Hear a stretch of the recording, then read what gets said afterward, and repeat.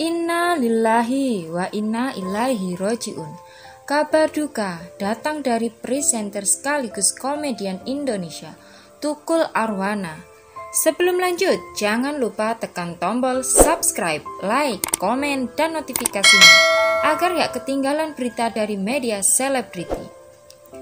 Rianto, yang namanya diganti menjadi Tukul Rianto dan lebih dikenal dengan nama Tukul Arwana, lahir 16 Oktober 1963, adalah seorang pelawak dan pembawa acara keberkebangsaan Indonesia – Titik balik karirnya pun mencuat ketika menjadi pendamping Joshua di video klip Air dengan ikon di obok-oboknya sekitar tahun 1997.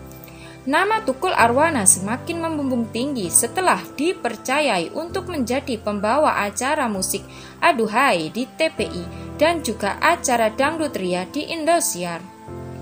Saat ini, nama Tukul Arwana kian melejit ketika TV7 mempercayakannya menjadi pembawa acara talk show Empat Mata. Tukul juga baru saja menyelesaikan syuting film layar lebar pertamanya yang berjudul Otomatis Romantis. Tingkahnya yang kocak sangat memukau penonton dengan kumis lelenya saat membawakan acara di Empat Mata.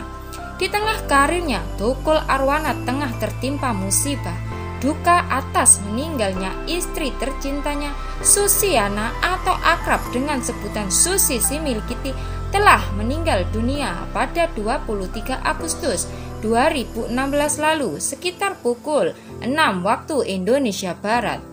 Semua keluarga, sanak saudara dan tetangga silih berganti datang ke rumah duka di Jalan Haji Nian Cipete, Jakarta Selatan. Di rumah duka, saat ini jenazah almarhumah Susiana sudah terbujur di ruang keluarga rumahnya. Puluhan pelayat terlihat sangat khusyuk mendoakan kepergian almarhumah. Tukul Arwana sendiri tampak tegar meski tidak bisa menutupi raut wajah kesedihan yang sedang menyelimuti. Selain keluarga dan tetangga, beberapa sahabat dari kalangan artis seperti pelawak Tarzan, Eko Patrio, dan mantan ketua PSSI Akum Gumelar terlihat datang memberikan dukungan moral kepada Tukul Arwana yang sedang berduka. Kepergian almarhum Susiana memang terbilang mengejutkan. Tidak terdengar beliau menderita penyakit serius, tiba-tiba Susi dilarikan ke Rumah Sakit Brawijaya, Jakarta Selatan lantaran sakit sesak nafas. Namun, berdasarkan informasi dari pihak rumah sakit, jenazah sudah meregang nyawa sebelum mendapatkan pertolongan pertama di IGD. Hingga sekarang baik Tukul maupun dari pihak keluarga sendiri masih belum bisa dimintai keterangan mengenai penyebabnya meninggal almarhum Susiana. Jenazah sendiri rencana akan dimakamkan pada Rabu 24 Agustus 2016 di tempat yang masih dirundingkan oleh pihak keluarga. Namun, meninggalnya mendiang Mbak Susiana terjadi di tahun 2016 silam. Video ini hanya untuk mengenang almarhumah. Semoga husnul khatimah. Amin amin ya robbal alamin. Sekian dan terima kasih.